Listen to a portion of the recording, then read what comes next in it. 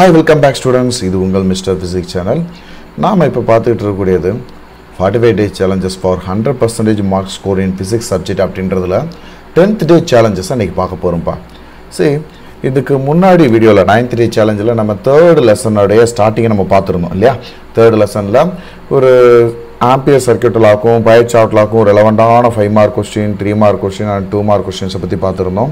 இப்போ இன்றைக்கி வீடியோஸில் the force acting on a conductor so அந்த கண்டக்டரில் ஃபோர்ஸ் ஆக்ட் ஆகிறத பற்றியும் அதனால் உருவாகக்கூடிய மேக்னட்டிக் ஃபீல்டை பற்றியும் நம்ம படிக்கும்போது இந்த இடத்துல மேக்னட்டிக் லாரன்ஸ் ஃபோர்ஸை பற்றி நம்ம படிக்க போகிறோம்ப்பா இன்றைக்கி டாபிக் ஃபுல்லாமே மோஸ்ட்லி எதுக்கு ரெலவெண்ட்டாக இருக்கும் அப்படின்னா மேக்னட்டிக் லாரன்ஸ் ஃபோர்ஸ் இந்த மேக்னட்டிக் லாரன்ஸ் ஃபோர்ஸ் கான்செப்ட்லேருந்து இந்த மேக்னட்டிக் ஃபீல்டு லெசனே நம்ம என்ன செய்யலாம் அப்படின்னு கேட்டோம்னா ஒரு ரெண்டு கேட்டகரியாக பிரித்து பார்க்கலாம்.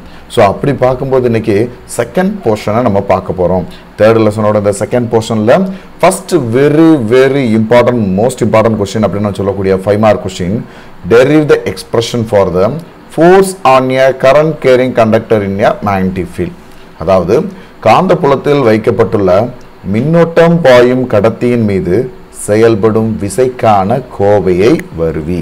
இந்த கொஸ்டினில் உங்கள் எல்லாருக்கும் ஈஸியாக தெரிஞ்ச ஒரு ஐடியா என்ன அப்படின்னா ஆக்சுவலாக மேண்டிக் லாரன்ஸ் ஃபோர்ஸை நம்ம வச்சு பார்த்துட்டு என்ன செஞ்சுருப்போம்? அந்த கொஸ்டின் நம்ம பார்க்குற மாதிரி இருக்கும்.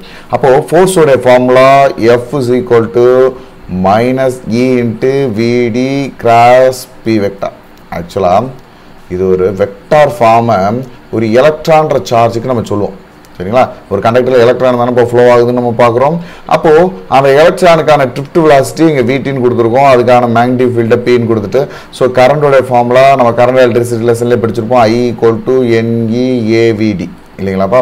ஸோ இது எல்லாத்தையும் நம்ம கொஞ்சம் சிம்பிளிஃபை பண்ணி இந்த ஃபோர்ஸோடைய formula F vector equal to IL vector cross B vector அது ஐஎல் வெக்டார் அப்படின்றத கரண்ட் எலமெண்ட் அப்படின்னும். பி வெக்டார் அப்படின்றத மேக்னட்டிக் ஃபீல்டுனும் அப்போ கரண்ட்டுக்கும் மேக்னட்டிக் ஃபீல்டும் ஒன்றுக்கு ஒன்று மியூச்சுவலி பெர்பெண்டிகுலராக இருந்துச்சுன்னா அது ஒரு ஃபோர்ஸை உருவாக்கும். சரிங்களா? அதான் மேக்னட்டிக் ஃபோர்ஸ் அப்படின்னு நம்ம பார்க்குறோம். F equal to BIL sine theta when theta equal to ninety degree அப்போ இதோட ஃபோர்ஸ் எப்படி இருக்கும்? மேக்ஸிமமாக பிஐஎல் அப்படின்னு இருக்கும். சரிங்களாப்பா? ஸோ இதுதான் இதோடைய முக்கியமான கொஸ்டின் ரொம்ப ஈஸியான டெரிவேஷன் பார்த்து தான்ப்பா சரிங்களா? ஒரு சிங்கிள் கண்டக்டருக்கு சிங்கிளாக கரண்ட் பாஸ் பண்ணக்கூடிய ஒரு கண்டக்டருக்கு அதில் ஆக்ட் பண்ணக்கூடிய ஃபோர்ஸ் அதை நம்ம மேக்னட்டிக் லாரன்ஸ் ஃபோர்ஸோடைய ஃபார்முலாலேருந்து ஈஸியாக நம்ம எக்ஸ்பிரஷன் பண்ணி சொல்ல போகிறோம் then there is the expression for the force between two parallel current carrying conductors இப்போ ரெண்டு கண்டக்டர்ஸ் பா. ரெண்டு கண்டக்டர்ஸில் நம்ம என்ன செய்கிறோம் கரண்ட்டை பாஸ் பண்ணுறோம் அதில் ரெண்டு கண்டக்டருக்கு இடையில இருக்கக்கூடிய அட்ராக்டிவ் ரிபல்சிவ் ஃபோர்ஸை நம்ம எக்ஸ்பிளைன் பண்ணுறது தான் இந்த கொஸ்டினோடைய மெயினான கான்செப்ட் இதில் மின்னோட்டம் பாயும் இரு இணை கடத்திகளுக்கு இடையே உருவாகும் விசைக்கான கோவையை தருவி. ரெண்டு இணையான கடத்திகள் அப்படின்னு சொல்லிட்டாங்க. அப்போ இந்த ரெண்டு கடத்திகளுக்கு இடையில இருக்கக்கூடிய மேக்னெட்டிக் ஃபீல்டை தனித்தனியாக நம்ம பார்ப்போம். ஆக்சுவலாக தனித்தனியான்னு பார்க்கும்போது ஃபர்ஸ்ட் கண்டக்டரில் இருக்கக்கூடிய மேக்னெட்டிக் ஃபீல்டு அப்படின்றது செகண்ட் கண்டக்டரில் உருவாகும் இல்லையா? அதை mu naught I one by two pi R அதாவது க இது வந்து நம்மளுக்கு ஒரு கரண்ட் பாஸ் பண்ணக்கூடிய கண்டக்டர் காயில் சுற்றி இருக்கக்கூடிய மேக்னெட்டிக் ஃபீல்டுக்கான ஜென்ரலான ஃபார்முலா நம்மளுக்கு தெரியும். அதிலேருந்து எடுத்திருப்போம் சரிங்களா? இதில் இருக்கக்கூடிய இந்த வெக்டார் சைன் ரொம்ப ரொம்ப முக்கியமானது. இது எப்பயுமே மிஸ் பண்ணிடாதீங்க ஸோ அப்போ இது minus mu naught I one by two pi R I cap அப்படின்னு இருக்கும். அதே போல் இதோடைய ஃபோர்ஸ் அப்படின்னு பார்க்கும்போது டிஎஃப் வெக்டார் என்ன சொல்லுவோம்? I two DL vector into B one ஃபைனலாக இதிலிருந்து கிடைக்கக்கூடிய force F by L அப்படின்றதோட value minus mu naught I one I two by two pi R into J cap சரிங்களாப்பா so இந்த ஃபார்முலா ஃபஸ்ட்டு கண்டக்டருக்கான force per லென்த்தை சொல்கிறோம் சரிங்களா? Then next இதே போல் B ஒன்று கண்டுபிடிச்ச மாதிரி என்ன செஞ்சுருப்போம் பி டூக்கும் கண்டுபிடிப்போம். B two vector equal to mu naught I two by two pi R இங்கே ஐ கேப் ஸோ அங்கே மைனஸ் ஐ கேப்னு இருந்துச்சு இங்கே ப்ளஸ் ஐ கேப் தான். இங்கே ஃபோர்ஸ் டிஎஃப் வெக்டார் அப்படின்றது என்ன சொல்லுவோம்?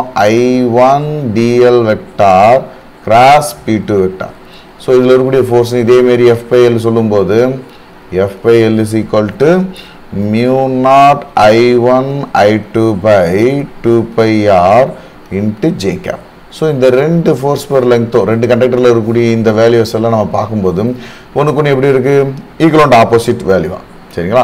ஆப்போசிட்ன்றது அதோட டேரக்ஷன் பட் ரெண்டு கண்டக்டரில் இருக்கக்கூடிய ஃபோர்ஸ் பர் லென்த்து சேமாக இருக்கு இல்லையா? ஸோ இதை வச்சு தான் நம்ம டிஃபைன் ஒன் ஆம்பியர் இங்கே நம்ம டூ மார்க் கொஸ்டினில் அதான் படிக்க போகிறோம் டிஃபைன் ஒன் ஆம்பியர் அது என்ன சொல்லி இருந்திருப்பாங்க to infinity long parallel straight conductors at kept kept side by side parallel at the distance of one metre அதாவது ரெண்டு கண்டக்டருக்கு இடையில இருக்கக்கூடிய டிஸ்டன்ஸ் எவ்வளோ இருக்கணுமா? ஒன் மீட்டர் டிஸ்டன்ஸ் இருக்கணுமா? சரியா? ஸோ அப்படி இருக்கும்போது in air or vacuum it's causes each conductor to experience a force of two into ten power minus seven newton per metre அப்போது இந்த ஃபோர்ஸ் பெர் லென்த் அப்படின்னு இருக்கிறதுல இந்த மியூ நாட் வேல்யூ இருக்குது பார்த்தீங்களா? இந்த மியூ நாட்டோட வேல்யூ நம்ம எல்லாருக்குமே தெரியும். என்னது? Four pi into ten power minus seven henry per metre சரிங்களா? அந்த வேலையை சப்ஜெக்ட் பண்ணுங்கள் then I one and I two ரெண்டுமே ஒன் ஆம்பியர் கரண்ட் இருந்துச்சுன்னா இந்த ஆறுன்ற டிஸ்டன்ஸு இங்கே சொல்லியிருக்கும் பாருங்கள் ஆறுன்ற டிஸ்டன்ஸு ஒன் மீட்டர் அப்படின்னு இருக்கும்போது இந்த இந்த இதை சிம்பிளை பண்ணால் என்ன வரும்? Four pi into ten power minus seven into one into ஒன்று I one and I two one into one then two pi R அப்படின்றத என்ன எடுத்துக்கிடுவோம்? டூ பை இன்ட்டு ஒன்று அப்போ இந்த டூ பை இந்த டூ பை கேன்சல் பண்ணிருங்க. டூன்னு வந்துடுமா? ஸோ இதோடைய ஃபோர் ஸ்கொயர் லென்த் வேல்யூ என்ன வரும் அப்படின்னு கேட்டால் four square லென்த்தோட value two into ten power minus seven newton per metre சரிங்களாப்பா இதான் ஒன் ஆம்பியருக்கான டெஃபினிஷன் ஸோ அப்போ நம்ம இந்த கொஸ்டின் டிஃபைன் ஒன் ஆம்பியர் அதாவது ஆம்பியர் என்பதை வரையறு அப்படின்னு கேட்டோம்னா இந்த கொஸ்டினை படிக்கும்போது என்ன செஞ்சிடலாம்? இதையும் சேர்த்தே படிச்சிடலாம். சரிங்களாப்பா? ஸோ ரொம்ப ரொம்ப இம்பார்ட்டன்ட் கொஸ்டின் இந்த ரெண்டு கொஸ்டினுமே நீங்கள் ஒரு இடம் நீங்கள் பார்த்துட்டீங்கனாலே உங்களுக்கு ரொம்ப ஈஸியாக புரிஞ்சிருப்பா சரிங்களா? ரெண்டு கொஸ்டினும் ரொம்ப இம்பார்ட்டன்ட் கொஸ்டின் அடுத்தடுத்து இருக்கக்கூடிய கொஸ்டின் ஸோ அதனால் மேண்டிக் லாரன்ஸ் ஃபோர்ஸ் அப்படின்றத த்ரீ மார்க் கொஸ்டினில் நம்ம இங்கே பார்க்க போகிறோம் so most important three mark question in this three third lesson சரிங்களா? இதை வந்து நம்ம எப்படி பார்க்க போகிறோம் ஃபஸ்ட்டு ஃபோர்ஸ் மேக்னட்டிக் ஃபோர்ஸ் அப்படின்றத is directly proportional to the field அப்படின்னு சொல்கிறாரு சரிங்களா? ஏன்னா இந்த ஃபார்முலா அப்படின்றது நம்மளுக்கு F equal to q into v cross B அப்படின்றது நம்மளுக்கு எல்லாருக்குமே தெரியும். மேண்டிக் லாரன்ஸ் ஃபோர்ஸோடைய ஃபார்முலா இதான் முக்கியமான ஃபார்முலா இந்த ஃபார்முலாவை நம்ம என்ன செய்கிறோம் எக்ஸ்பிளைன் பண்ண போகிறோம் இது மேண்டிக் லாரன்ஸ் ஃபோர்ஸ்ன்றதுனால எஃப்எம்னு கொடுத்துருப்பாங்க. சரிங்களாப்பா? மேண்டிக் லாரன்ஸ் ஃபோர்ஸ் காந்தவியலில் லாரன்ஸ் விசையை பற்றி குறிப்பு வரைக. சரிங்களா? காந்தவியலுக்கான விசையை FM is directly proportional to B அப்போது இந்த ஃபோர்ஸ் அப்படின்றது ஒரு வெக்டார் குவான்டி தான். மேண்டி ஃபீல்டு ஒரு வெக்டார் குவான்டி மேண்டி ஃபீல்டு இன்க்ரீஸ் ஆகும்போது இந்த ஃபோர்ஸ் இன்க்ரீஸ் ஆகும். Then FM is directly proportional to V வின்றது இந்த இடத்துல என்னது?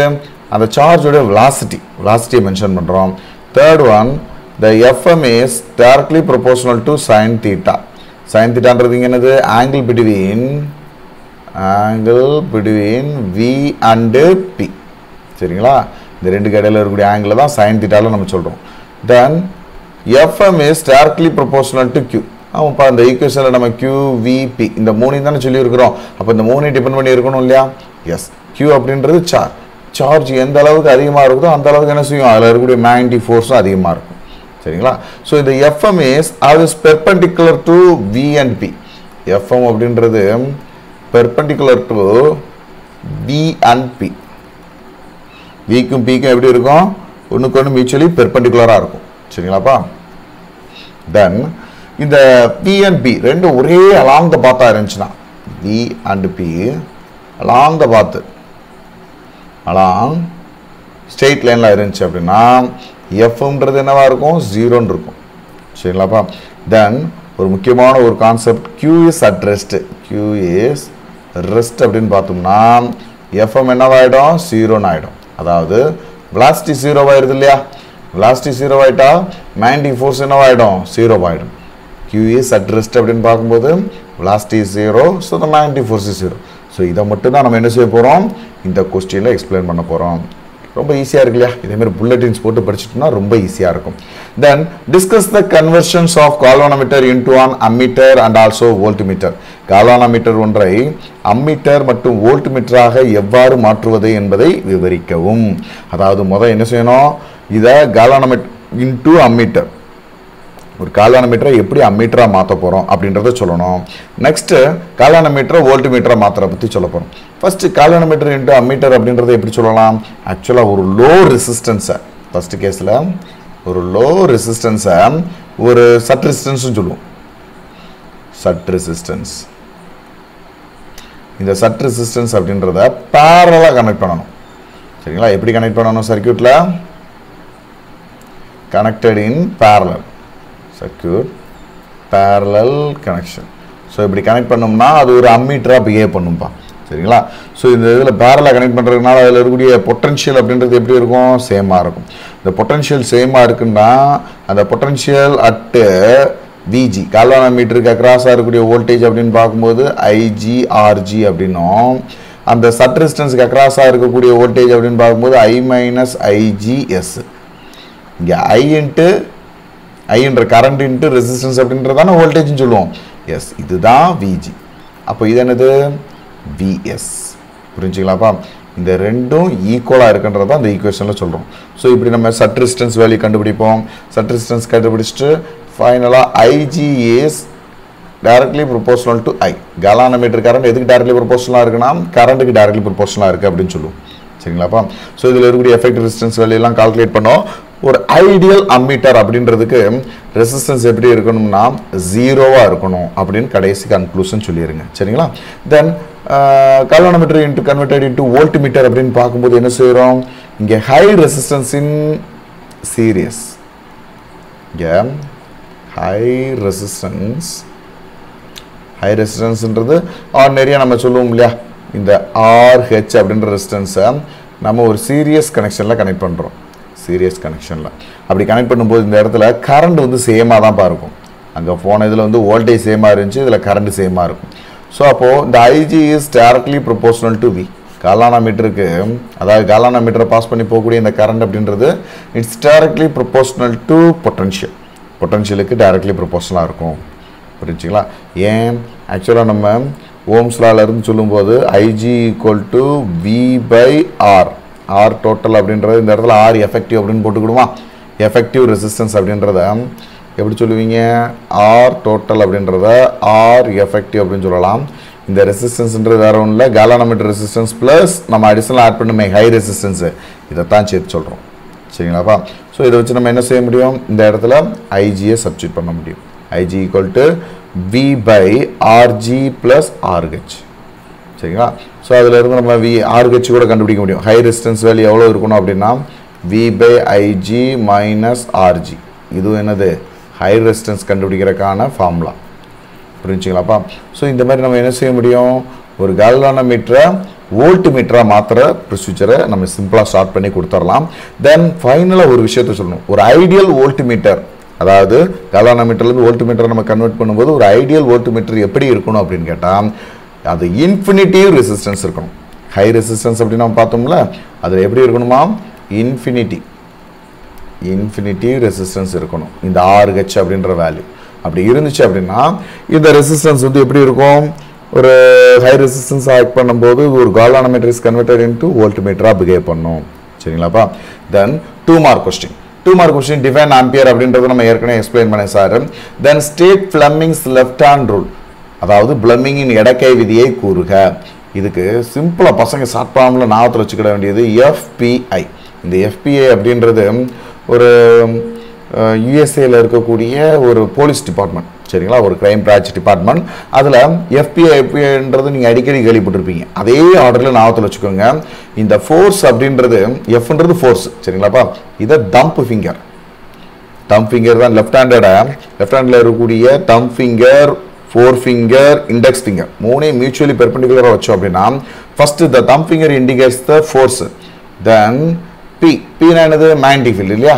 The four finger indicates the magnetic field, then middle finger indicates the current.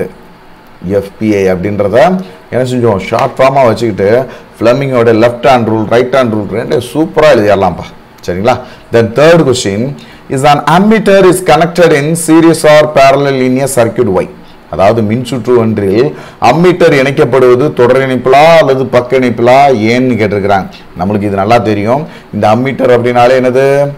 Low resistance தான் நம்ம என்ன செய்வோம்? இதில் இன்சர்ட் பண்ணுறோம் இல்லைங்களா? அதுவும் பேரலாக கனெக்ட் பண்ணுறோம் அப்போது மீட்டர் அப்படின்னால என்னது? Low resistance instrument so it's always connected in series இது ஒரு சீரியஸ் சர்க்கியூட்டை தான் நம்ம என்ன செஞ்சுக்கிட்டு இருக்கோம்? கனெக்ட் பண்ணிட்டு இருக்கோம்.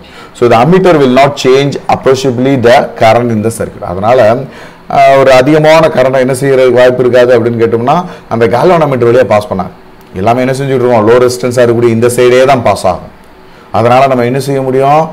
ஈஸியாக இதை கால்குலேட் பண்ண முடியும். கரண்ட் எவ்வளோ போ ஃப்ளோ ஆகுது அப்படின்றத கால்குலேட் பண்ண முடியும். ஸோ இந்த மின்சுற்றில் இது ஒரு அம்மீட்டராக எப்படி இருக்குது அப்படின்றத நம்ம ஈஸியாக சொல்லணும் இல்லையா? சீரியஸாக இருக்குது அப்படின்றத இதை ரீசனாக இந்த மாதிரி எழுதிடுறோம். Then explain the concept of velocity selector அதாவது திசைவேக தேர்ந்தெடுப்பானின் கருத்தை விளக்குக. அதாவது ஒரு லாஸ்டி செலக்டார் அப்படின்னாலே ஒரு யூனிஃபார்ம் ஃபீல்டு கிடையில இது ஃபுல்லாக பாசிட்டிவ் பிளேட்டுன்னு வச்சுக்கிறோம்.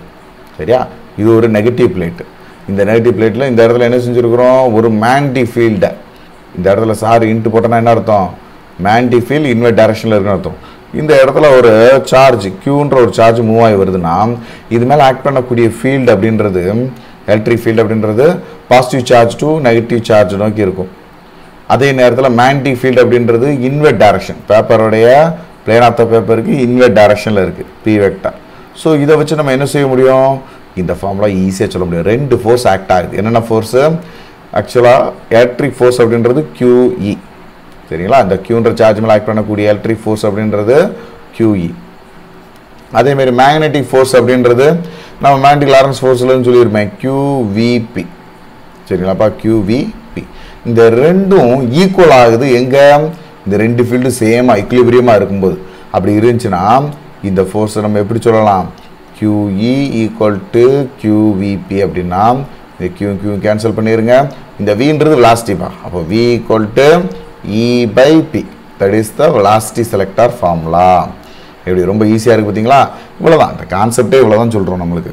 அடுத்து ஃபைனலாக why is the both of the charged particle not a circle when it is a velocity is not perpendicular to the magnetic field.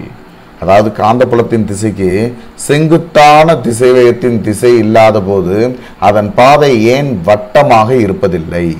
இந்த கொஸ்டினுக்கு கொஸ்டினுக்கான ஆன்சர் இதுக்குள்ளே தான் கொடுத்துருக்குறாங்க என்ன காரணம்? இந்த விளாஸ்டி வந்துட்டு எப்படி இருக்கு?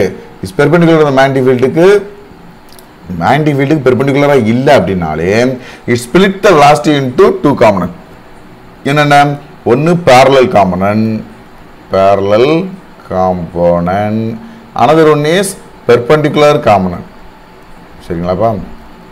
இந்த பேரல் காம்பனன்ட் பெர்பண்டிகுலர் காம்பனன்ட்றது ஃபீல்டில் ரெண்டாக ஸ்ப்ளிட் ஆகுது. அது ஸ்ப்ளிட் ஆனதில் இந்த velocity is parallel to the field remains unchange பேரலாக இருக்கிறது அன்சேஞ்சு சேஞ்சே ஆகாது. ஆனால் இந்த பெர்பண்டிகுலர் காம்பனன்ட் மட்டும் என்ன செஞ்சுட்டு இருக்கோம்? கண்டினியூஸ்லி சேஞ்ச் ஆகும். சேஞ்சிங் த சர்க்கியூட் சரியா? சேஞ்சிங் த சர்க்கியூட் ஸோ இதுதான் என்ன செய்யுது லாரன்ஸ் ஃபோர்ஸை உருவாக்குது. ஸோ அதனால் அந்த பாத் எப்படி இருக்கும்னா சர்க்கிளாக இருக்காது. அது போல் ஹெலிக்கல் அரவுண்ட் த ஃபீல்டாக இருக்கும். சரிங்களாப்பா இது எப்படி இருக்கும்னா ஒரு helical shape helical around the field field lines சரிங்களா? ஸோ இது போல் நம்மளுக்கு ரொம்ப இம்பார்ட்டண்டான இந்த டூ மார்க் கொஸ்டின்ஸ் எல்லாமே நம்மளுக்கு என்ன செய்யுதுன்னா இந்த டாப்பிக்கில் இருக்கக்கூடிய முக்கியமான ஒன்று ஸோ இந்த தேர்டு லெசனில் நம்மளுக்கு five mark three mark two mark எல்லாமே இது வரைக்கும் படித்தா போதும்ப்பா ஏற்கனவே நான் சார் உங்களுக்கு சொன்னேன் அந்த நைன்த் டே சேலஞ்சும் tenth day சேலஞ்சிலையும் question answer over next next day சேலஞ்சில் நம்ம என்ன செய்ய போகிறோம் அந்த தேர்ட் டேக்கான ஒரு சாரி நெக்ஸ்ட் டே சேலஞ்சில் இந்த தேர்ட் லெசனுக்கான ப்ராப்ளம் தான் நம்ம பார்க்க போகிறோம் ப்ராப்ளம்ஸ் அப்படின்னு பார்க்கும்போது two mark and three mark problem இருக்குல்லப்பா so அது ஓவராலாக நெக்ஸ்ட் டே சேலஞ்சஸில் நம்ம முடிச்சிடும் சரிங்களாப்பா அதோட தேர்ட் லெசன் ஓவர் ஆகுது. Next day we will go to the fourth lesson டெஃபினட்டாக நான் சொல்கிறேன் கண்டினியூஸாக நீங்கள் டெய்லி உங்களுடைய சேலஞ்சஸ் நீங்கள் முடிச்சுட்டே வந்தீங்க அப்படின்னா ஃபார்ட்டி ஃபைவ் டேஸ் சேலஞ்ச் இந்த forty five days சேலஞ்சஸில் hundred percentage we will definitely we will score சரிங்களாப்பா sure okay நம்ம நெக்ஸ்ட்டு அடுத்த வீடியோவில் பார்க்கலாம். தேங்க்யூ